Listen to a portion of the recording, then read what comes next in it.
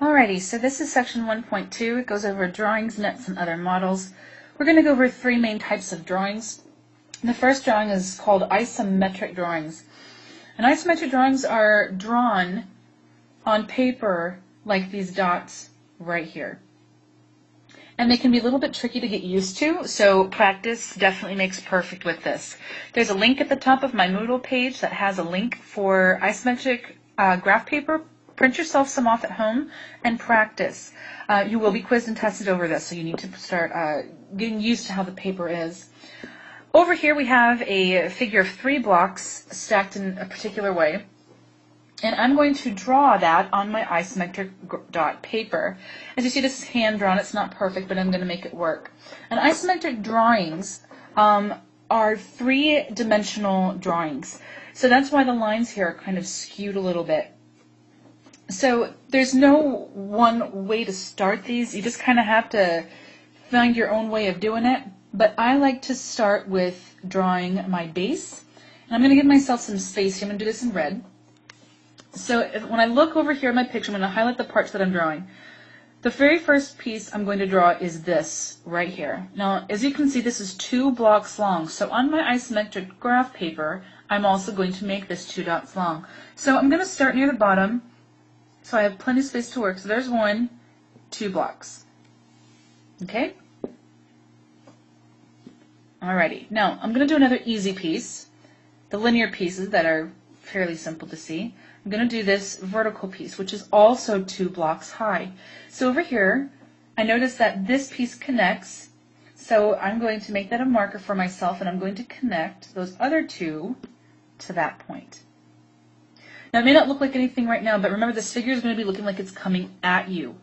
So the next part that I'm going to do is yet again another easy part. I'm going to take this other vertical line, which is one unit away and two units high. So I'm going to go over here, and I'm going to make this one, two units high. All right, I'm going to do one more piece. Let's take a look at this smaller vertical piece right here.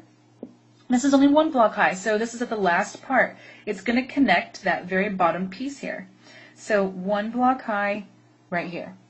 So you really just have to take your time with this. Now, the next easier pieces I see are the pieces that are horizontal. It's all the other pieces of this that make it a little bit harder. So let's take this, I'm going to do this in blue. And you are welcome to use colored pencils on your isometric uh, drawings as well. So here's another piece right here. Now this is going parallel to this bottom piece that I already drew. And it's one block high, two blocks long. So I'm going to come over here and I'm going to find that line that's going to be parallel. I'm going to draw it just like this. I'm going to find another horizontal line here, which is this. Oops, that doesn't look right. Try it again. My pen doesn't want to work for me. All right. So I'm going to go up to the top here. It's going to connect with these two ends of those red lines. So over here in my graph paper, there's that blue line. All right. Now from here, it's really just a matter of what you see. Now the next couple pieces I see, look over here at my figure. At the very, very top, I see this piece and this piece and this piece. So how do I go about doing that? Well, follow the trace marks that you just made. From this point right here, I go up and to the right. It's almost like an angle. So I see that point right here, and I'm going to go ahead and connect it on my paper. So right there. Now the next piece that I did came down and to the right. So I'm going to do that right here. And the very last piece connects this so that it makes the top of those blocks. And you can you hopefully can start seeing this come to life. Now, another of the easier pieces that I see, now that I know how these are working, I'm going to look right here in the very center where the blocks meet. I'm going to look at this piece and I'm going to look at this piece.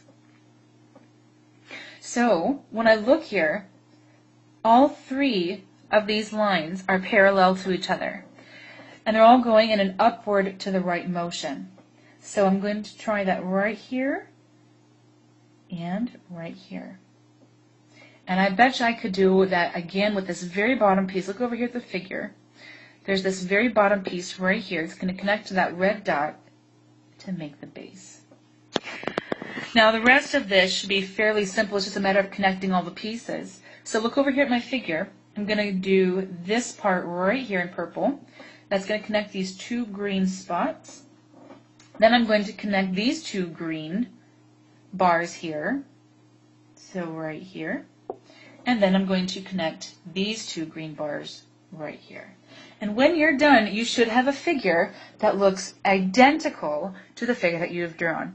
And I, this might look easy because I've done this a million times, but take your time and keep your patience with you. Now, another kind of drawing that we have, I'm going to erase this. Another kind of drawing that we have is called an orthographic drawing.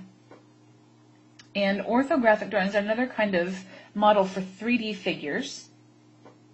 Orthographic drawing. Okay. So what an orthographic drawing does is it shows this figure from three particular views. It's going to ask for a top view. In other words, if I were to pick this figure up and look at it straight down, what would I see? There's a top view, there's a front view,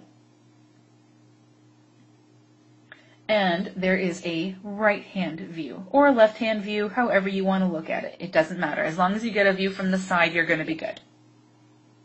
So, when I start this off, I'm going to use green here. When I look at this figure from the top, you kind of have to take this figure mentally off of the paper and hold it in your hand like blocks. And if you were to look at it straight down, all I would see, I'm going to draw this right here, I would see the very top piece, I'm going to shade it in green over here, I would see this, and then I would see the top of this piece. So in essence, this is my top view, and that's it. So that's the first part of my orthographic drawing. The front view I'm going to do in red. So I'm going to take a look at this and hold it right up to my eyes and see what I see. So I know I'm going to see this block right here. It's kind of poking up out of nowhere. And I'm also going to see this block down here, and they're going to be stacked right on top of each other when I look directly at them. So my front view is going to be identical to my top view. And the last view, the right-hand view, this is typically the easier one. I'm going to do this in purple. It's all the parts that you would see as if you took a look at the side with the most blocks. So I would see this one, this one, and this one right here. So I'm going to draw that out. There's the two blocks that are stacked on top of each other, and then the block coming out. And that's all you need for an orthographic drawing. And then we have one more kind of drawing. I'm going to erase this, which is called a foundation drawing. And a foundation drawing is very simply a layout of how many blocks take up each space. So the last kind that we're going to take a look at here is foundation drawing.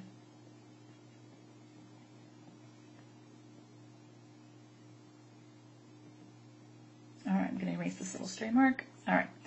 So in order to do a foundation drawing, we're going to show the base of this structure. So once again, I'm going to take my top drawing from my orthographic drawing, which was just two blocks high, just like this. And what I'm going to do is I'm going to write numbers inside these blocks. I'm going to tell whoever's looking at this how many blocks are stacked in that particular area. So when I look he over here at this tower, just this particular part, I have one, two blocks stacked on top of each other. So over here, I'm going to mark a 2 inside this part. And then the other place that we have is this right here. And this is only one block high. So over here, I'm going to write the number 1.